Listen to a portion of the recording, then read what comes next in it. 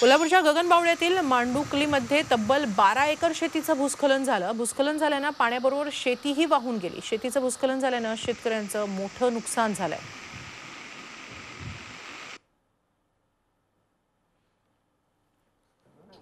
खासदार संभाजीराजे छत्रपतींनी कोल्हापूरमधील पूरस्थितीची पाहणी केली. कोल्हापुरात पुरामुळे अनेक ठिकाणी नुकसान झालंय. रस्ते खचल्यानं मदत करणारी वाहनं महामार्गांवरच अडकून पडली आहेत वाहनं अडकल्यानं मदत कार्यात अडथळा निर्माण झालाय. त्यामुळे सर्व महामार्ग ग्रीन कॉरिडॉर करावेत अशी मागणी संभाजीराजेंनी राज्य सरकारकडे केली आहे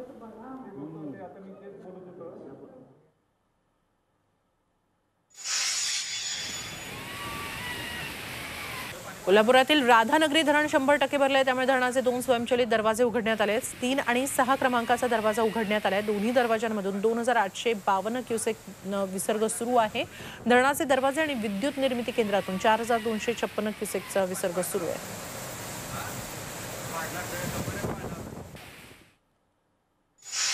कोल्हापुरात आलेल्या पुराचा फटका अनेक जनावरांना बसला. गडिंग्लजमधील गिजवणे गावाजवळ एक रेस्क्यू ऑपरेशन पार पडलं.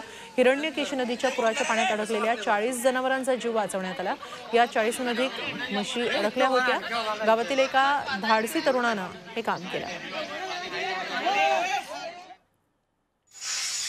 कोल्हापूर जिल्ह्यातील नेसरी महावितरणचा कर्मचारी हर्ष सुदर्शन याच्यावर कौतुकाचा वर्षा होतोय. कारण हर्षचा एक व्हिडिओ सोशल मीडियावर तुफान व्हायरल झालाय. यात पुराच्या पाण्यात पोहत जाऊन त्यानं नेसरी घटप्रभा नदीजवळच्या बारा गावांचा वीज पुरवठा सुरळीत केला. वीज पुरवठा सुरळीत झाल्यानं या गावातील पाणी पुरवठाही पूर्ववत झालाय.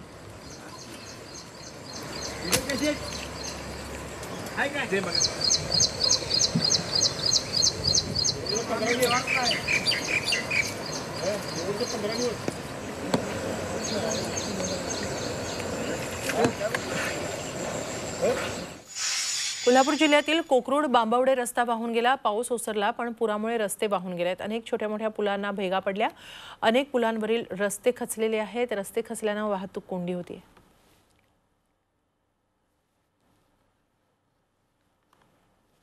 कोल्हापूरचा शिरोळ तालुका हा भाजीपाला उत्पादनासाठी प्रसिद्ध आहे पण सततच्या महापुराणात या भाजीपाला उत्पादक शेतकऱ्यांचं अक्षरशः कंबरड मोडलंय.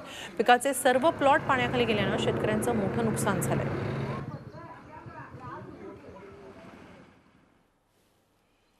सांगलीमध्ये कृष्णा नदीची पाणी पातळी पंचावन्न फूट आहे. पुराचं पाणी गावांमध्ये शेतांमध्ये शिरल्यानं खूप नुकसान झालंय. नदीपात्राच्या आजूबाजूच्या गावांना सतर्कतेचा इशारा देण्यात आलाय.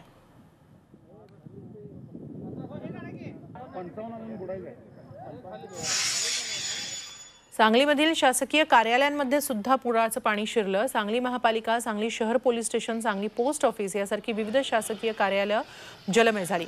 या ठिकाणी तात्पुरता कारभार अन्य ठिकाणी सुरू करण्यात आलेला आहे तरी पुरामुळे या शासकीय कार्यालयांचं नुकसान झालंय. सांगलीतल्या पलूस भागाला पुराच्या पाण्याचा वेढा पडलाय. भुवनेश्वर वाडीमधील अनेक घरांमध्ये पाणी पुराचं पाणी शिरलं त्यामुळे नागरिकांचे हाल झाले. एनडीआरएफनं पुरात अडकलेल्या नागरिकांचं सुरक्षित ठिकाणी स्थलांतर केलं.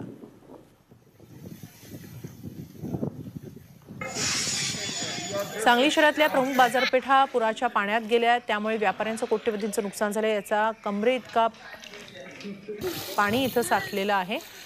इथलाच आढावा घेतलाय आमचे प्रतिनिधी रवींद्र कांबळे यांनी. आत्ता आपण सांगलीच्या मुख्य बाजारपेठेमध्ये उभे आहोत. आपण बघू शकत असाल पूर्ण या बाजारपेठेमध्ये पाणी आलेलं आहे. हार्बर रोड असेल कापडपेठ असेल गणपतीपेठ असेल या ज्या प्रमुख बाजारपेठा आहेत या पूर्णपणे पुराच्या पाण्यामुळे बाधित झालेल्या आहेत. दोन हजार एकोणीस सालीसुद्धा या बाजारपेठांचं प्रचंड नुकसान झालं होतं. पूर्ण व्यापार उद्ध्वस्त झाला होता. आणि पुन्हा एकदा व्यापाराला मोठा फटका बसलेला आहे. एक तर दोन हजार एकोणीसच्या पुरातून व्यापारी दुकानदार आत्ता कुठेतरी सावरत होते. त्यामध्येच कोरोना आणि लॉकडाऊन यामुळे पुन्हा व्यापारी अडचणीत आले. जवळपास कोट्यवधी रुपयाचं नुकसान या व्यापाऱ्यांचं झालेलं आहे. आणि दररोजची जी कोट्यवधी रुपयाची जी उलाढाल होती ती सुद्धा ठप्प झालेली आहे. त्यातच आता पुन्हा एकदा पूर आल्यामुळं सांगलीतील प्रमुख बाजारपेठा या जवळपास उद्ध्वस्त होण्याच्या मार्गावर आहेत. व्यापारी म- मोठ्या अडचणीत सापडलेल्या आहेत. आपण बघू शकाल शकत असाल की पूर्ण ही दुकानं आहेत. या दुकानामध्ये ब- पाणी गेलेलं आहे. इथलं साहित्य नु- प्रचंड नुकसान झालेलं आहे. आणि लवकरात लवकर पाणी कमी व्हावं असं सांगलीकरांची अपेक्षा आहे. मात्र सततच्या पुरामुळं व्यापार आणि इथले व्यापारी उद्ध्वस्त होण्याच्या मार्गावर आहेत. कॅमेरामन राहुल सोबत रवींद्र कांबळे झी मीडिया सांगली. सातारा जिल्ह्यातील पश्चिम भागात पावसाचा जोर असल्यामुळे दरड कोसळण्याचे सत्र सुरूच आहे. महाबळेश्वर तापोळा रस्त्यावर चिखली भारोळी कापशी या तीन वेगवेगळ्या ठिकाणी दरड कोसळली. दरड कोसळल्यानं रस्ताही खचलाय. रस्ता खचल्यानं महाबळेश्वर तापोळा रस्ता वाहतुकीसाठी बंद आहे. प्रशासनाकडून जेसीबीच्या मदतीनं दरड हटवण्याचं काम आता सुरू आहे.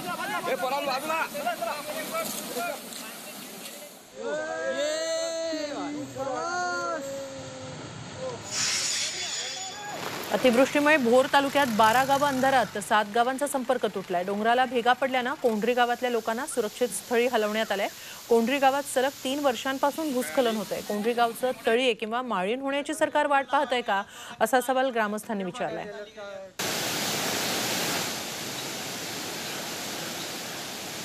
जळगाव जिल्ह्यात अनेक भागात सध्या जोरदार ते मध्यम स्वरूपाचा पाऊस सुरू आहे. जळगाव शहरात रिमझिम तर काही भागामध्ये जोरदार पाऊस सुरू आहे. गेल्या अनेक दिवसांपासून जळगाव जिल्ह्यात पाऊस नव्हता त्यामुळे शेतकऱ्यांची चिंता वाढली होती. मात्र सध्याच्या पावसामुळे शेतकरी समाधानी आहेत तर जलसाठ्यातही आता वाढ होईल.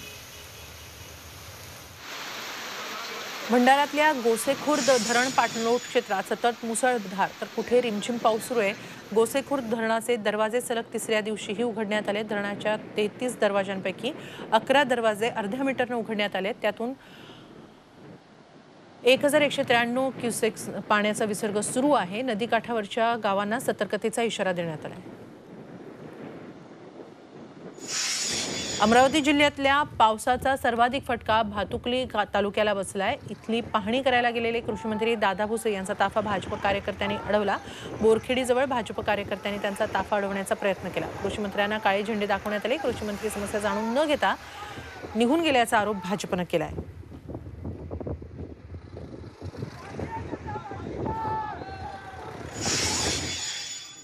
लातूरच्या उदगीर तालुक्यात डोंगर शेळकीमधला पाझर तलाव तु- तुडुंब भरून फुटलाय. परिणामी शेतकऱ्यांचं मोठ्या प्रमाणात नुकसान झालंय. तलाव तलावाखालच्या भागातल्या अनेक शेतकऱ्यांची पिकं वाहून गेली आहेत. तलावाची उंची वाढवण्याचं काम निकृष्ट दर्जाचं झाल्यानं तलाव फुटल्याचा ग्रामस्थांनी आरोप केलाय. चांगल्या पावसामुळे नांदेड जिल्ह्यातील शेख फरीद येथील धबधबा ओसंडून वाहतोय. हा धबधबा पाहण्यासाठी पर्यटक गर्दी करतायत. सततच्या पावसानं तीर्थक्षेत्र माहूर इथल्या वनराईनं हिरवागाल शालू परिधान केला. ऐंशी फुटांच्या उंच दरीतून कोसळणारा हा धबधबा नयनरम्य आहे.